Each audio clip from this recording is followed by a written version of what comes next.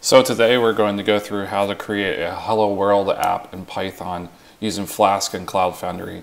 Uh, my name is Jeff Sloyer and you can reach out to me on Twitter at jsloyer. So first things first, open up a web browser. Um, I created a fake email address so I can kind of go through this with you and do it in real time. So we're going to open up a browser, go to bluemix.net and hit enter. In the top right hand corner, we're going to click sign up. It's going to ask for a couple pieces of information. So again, I'm going to use my fake email address. I don't know it, so I'm going to copy it. I'm a little lazy. So use your real one here. So paste, type in your real email address. And then type in your email address again. And then type in your first name and then last name and also a password.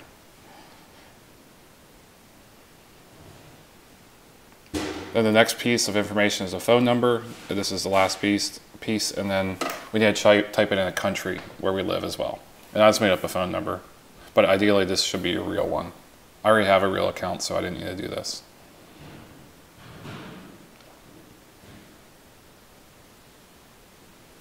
So one last bit is the security question. I'm going to kind of skip over this quickly so you don't see the answer to my security question. So I'm going there, and we basically click submit and you would come to this page.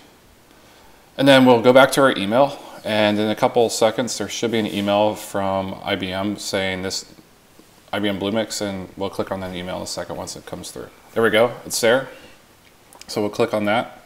There's this long link in there, we'll click on that. It'll take us to um, Bluemix and basically confirms our account. Then we'll go ahead and log in. So we'll, we'll use the account we just created and the password we, we just created.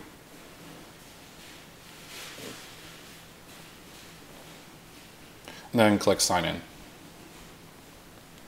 So that's basically it for signing up for Bluemix.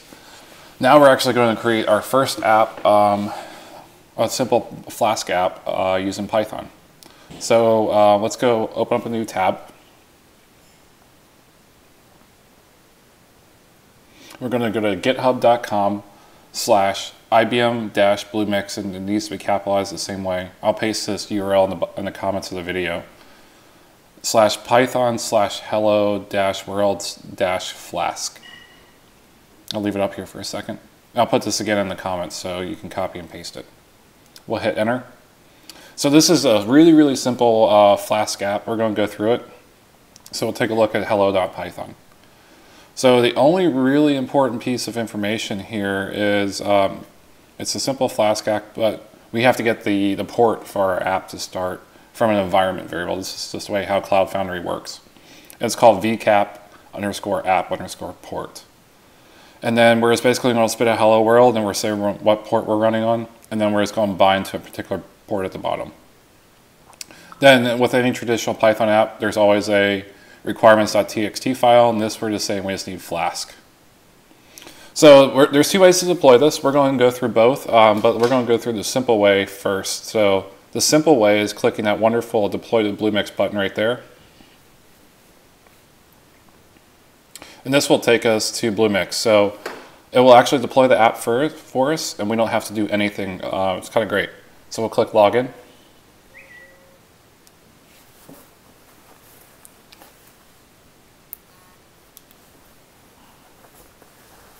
So it's going to ask us to create an alias. So I usually just use the short, the short part in front of my email. And so whatever is in front of the at sign. However, it doesn't, I guess, like the period, so just take out the period if you have that in your email, and then type that in and just click create.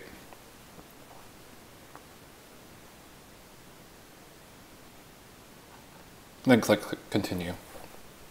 So what's basically doing here is uh, choosing a random app name for us. So it'll be unique, it won't conflict with anything. All we have to do is actually just click deploy right here and it will deploy our Python app for us. It's pretty cool. So it's going to start deploying, it's going to clone the code for us and start deploying the app for us and get it all set up.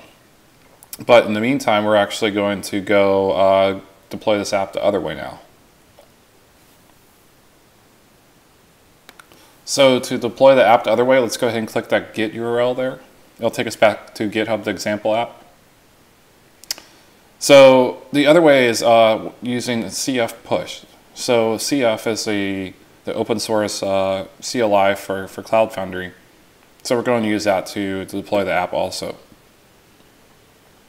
So let's go to Google and to download it. All we have to do is type in Cloud Foundry CLI. We're going to want to click on that first link there and scroll down a little bit to the download section. We want to do the stable installer, so you want to choose whatever your platform is there. So if you're running Windows, you can use Windows, but I'm running Mac, so I'm going to choose that. So I'm going to go ahead and skip over actually installing the CLI. Uh, just go ahead and install it for your platform, and then we'll, we'll start back up with actually deploying the app through the CLI. Yeah, so this next part, pause here if you don't have the CLI set up. Uh, get the CLI set up first, and then we'll, we, we can move on. So the next bit, we actually need to um, have Git installed as well. And so we're going to basically copy this code um, from GitHub to our local machine. So on the right-hand side there, we're going to click Copy to Clipboard. And then we're going to switch to Terminal. Windows has this, it's just start then CMD. And we'll type in git clone and then paste that URL and hit enter. And again, if you don't have Git installed now, let's pause and install that. So we'll go ahead and cd into that directory. So this, we'll just take a look at it also. This, this, this is basically exactly what we just saw on GitHub, same files. And now we can actually uh, log into Bluemix. So we'll type in cf login dash a https colon slash slash api.ng.bluemix.net. Then we'll type in our email address, and you can pause this video if, if it went a little quick there, and then type in your password that you created earlier. And then that's basically it. So you're logged into Bluemix and Cloud Foundry now. And then this is the last tiny little bit. We need to type cf push, and this basically just means upload our app. And then give your app a, a name. So make this a unique name. If, if you get some random error when uploading your app saying the route is taken or something or something weird like that, just choose a different name. So prefix it with your initials or or something different, something funny. So it's basically saying it's uploading our app, um, our, our couple five files that we have, and it's going to upload that and basically tars them up for us and uploads them to Cloud Foundry. So it's going to try starting our app. So what this means is it's going to pull down Python at first. I'll do it in a second.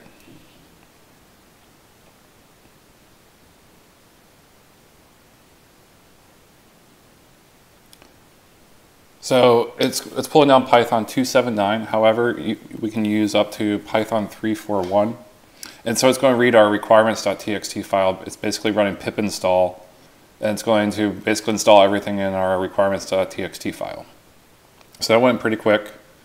So it's just finishing up the pip install. Down there at the bottom it says uploading droplet. What that is is basically Python combined with our app code and it just tars it up and creates a droplet, it's a Cloud Foundry term for your app. And after it does that, it's going to try starting our app. So it'll, it'll take a little bit for the app to come up, a, a couple seconds. And we'll just wait for that really quick.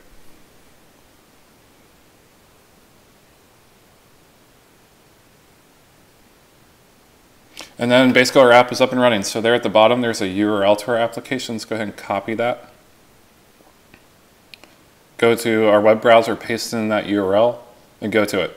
And the app should be up and running. There we go. It's hello world, and it's, it's running exactly how we saw earlier. So let's go back to the other way of deploying our application. Let's go back to the deploy to Bluemix tab. So we'll see it's done. All we have to do at the bottom there is click on uh, view, your, view your app, and that's it. And it'll take us to basically the exact same thing. And there again, it's up and running. So multiple ways to deploy your application to get started really, really quickly. You can do either or, but I just wanted to show you both. Um, if you have any questions or comments, reach out to me on Twitter at jsloyer. Thank you so much.